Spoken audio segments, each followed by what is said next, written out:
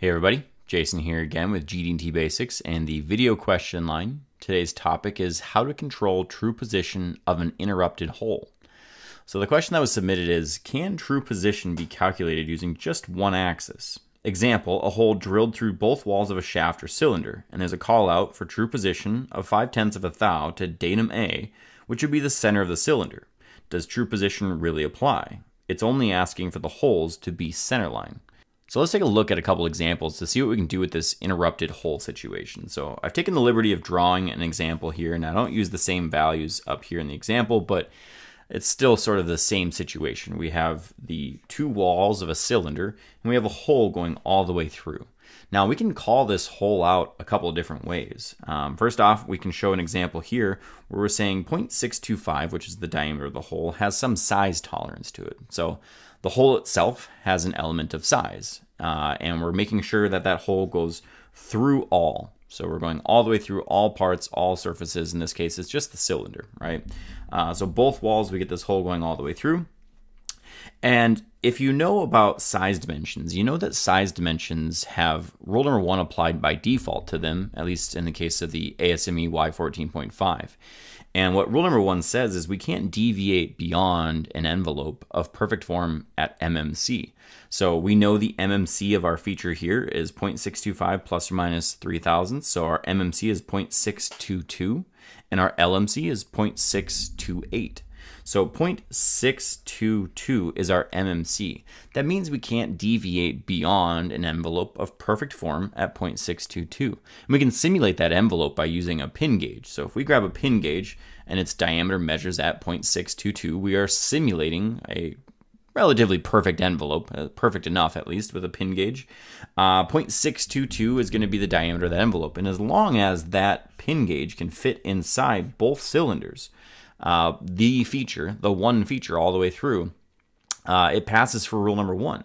So we're checking to make sure we don't deviate beyond this envelope of 0.622. And then we're also measuring uh, the local sizes. So we want to make sure this doesn't get too large in diameter.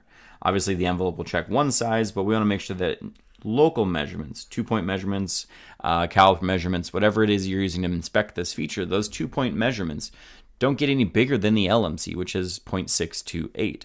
So that's checking just the size so far. We're not checking location or orientation with that at all. We're just checking how big or small that hole is.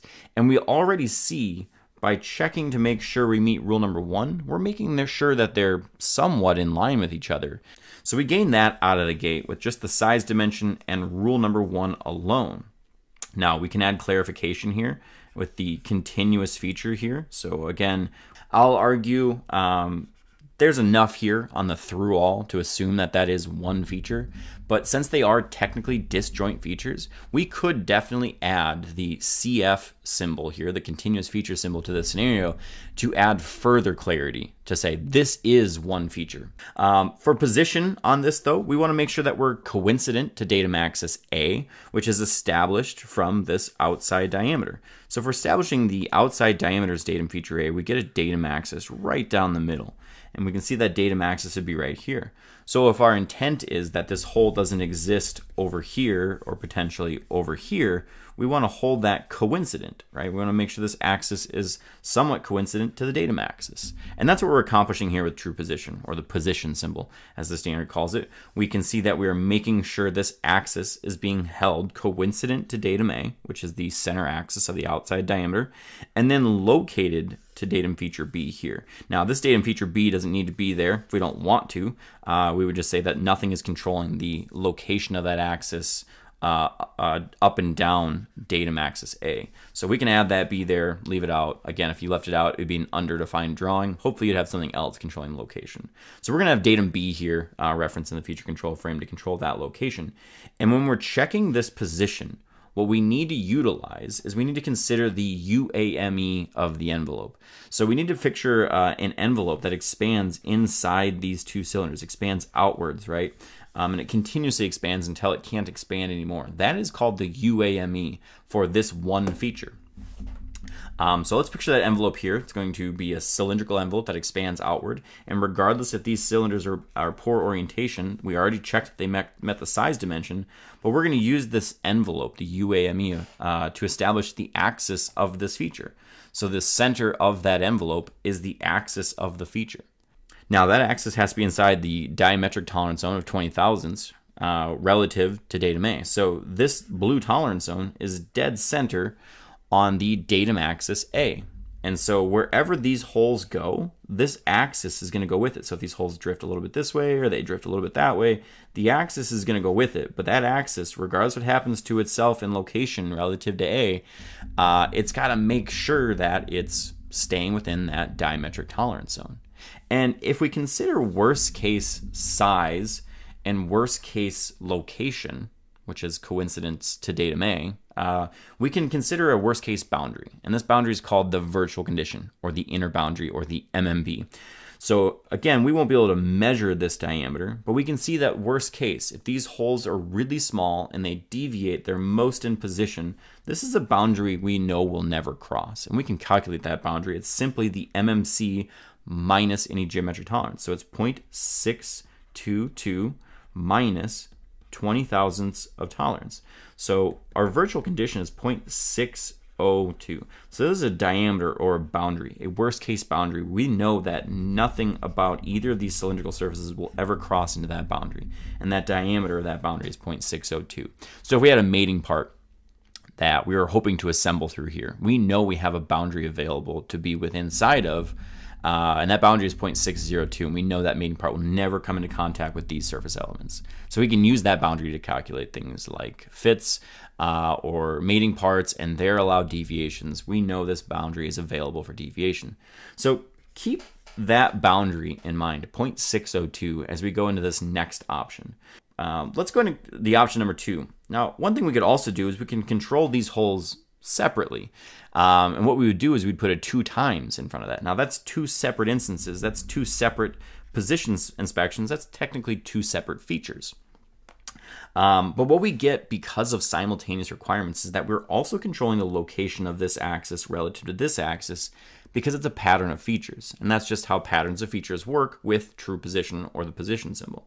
So now we're saying that, okay, well, we have two features we have two separate size inspections, two separate location inspections. So we're going to go ahead and check both of those sizes to make sure that they both pass rule number one.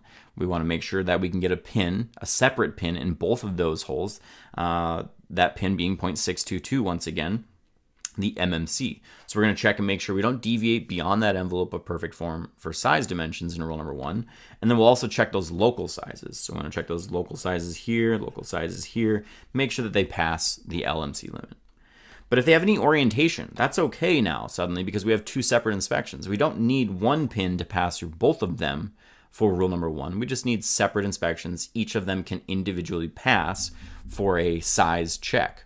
Uh, and so that might be something that you would be okay with or not okay with. And if you already know you're not okay with it, go with the first option. But let's see this option through. Now, when we check the position of this, we check this position specification for this instance here, what we're seeing is we need to have two separate envelopes, two separate UAMEs that are going to expand inside each one of those features and establish a data or establish an axis for each one of those features. So we have an axis for each one of these features separately, but we know each axis has to be within a tolerance zone of 20 thousandths relative to datums A and B. And so we can picture a zone for each one of those axes. And if you'd rather picture one zone for each, uh, you'd see that it really, since they're to the same datum reference frame, it's the same zone that's stacked up on top of each other. And we see that, okay, well, this axis can be in here, this axis can be in here, but they're separate axes now. What we're doing is we're allowing more orientation technically. Um, because the axis is a little bit shorter, it's not trying to be inside one big zone like we saw previously, one big axis inside the same zone. So it's a little bit different here. We're allowing them to deviate separately uh, and not assess them using the same unrelated actual mating envelope, the same UAME. So a little bit different here. Uh, I would say it's a little less of a conservative control. So we can see that we would pass position for each one of those. This would have its own deviation. This would have its own reported deviation. But there is a coaxiality control between these two. You know this axis could be over here and this axis could be over here. So they could never deviate more than 20 thousandths from each other. So they are being controlled relative to each other in both location orientation because it's a pattern of features. Um, but no longer do we have to have one axis that represents both of them. So they can dev- deviate differently, right? And so what we'd see here is if we brought back that 0.622 pin, we're not guaranteeing that we can get a 0.622 pin all the way through both holes. Um, we don't have that guarantee anymore. We're only guaranteeing we're getting a 0.622 pin through both of them. But what we'll notice is we can still calculate a boundary, the virtual condition, the MMB or the inner boundary for both of these features. And those boundaries will be centered on datum axis A. And so we can consider these worst case boundaries. And again, it's going to be the MMC minus your geometric tolerance. That MMC being 0.622 minus our geometric tolerance of 0.020, resulting in a virtual condition of 0.602 for both of these features. And those tolerance zones are perfectly located to each other due to the simultaneous requirements on a pattern of features here. And so really we could picture also the same boundary 0.602 that neither feature will deviate inside of. So we have the same virtual condition. This is the same value that we got up here in the worst case deviation. So these two callouts are extremely similar in the fact that you can always guarantee that you'll have a boundary of 0.602 available um, in the ideal location right? Uh, that's the that's the worst case size and location orientation of these holes relative to the reference to datums. In both scenarios, you're guaranteeing this boundary is available for mating parts. However, in this first one, we were guaranteeing that you could get a pin through both of the holes, regardless of where it's at. That pin's diameter is 0.622. So you know, just as far as the size is concerned, you can get that 0.622 pin through both of those holes. Whereas this one, you're not guaranteeing that. You're only saying each individual hole. So the question is functionally, what do you care about at the end of the day? Which one of these is going to be more appropriate level of control? Again, this one can be clarified with CF if you'd like that it is one continuous feature. You could not add CF to this scenario down here because you're explicitly saying they are two separate controls. So um, you'd have to consider the functionality of this hole. Uh, it, you know what what what is the size functionality? What is the position functionality? At the end of the day, if you're okay with that worst case boundary of 0.602 versus the size boundary of 0.622 also being on top of that, uh, you have to weigh the, your, your, your pros and cons of each um, situation we outlined here. So hopefully that answers your questions and kind of gives you a little bit of fuel uh, to navigate the decision moving forward and the interpretation of this sort of situation. Thanks for submitting and have a great day. Our goal is to be your best source for GD&T information online. It's important to us that everyone involved in engineering and manufacturing have the chance to learn and better understand GD&T on your prints.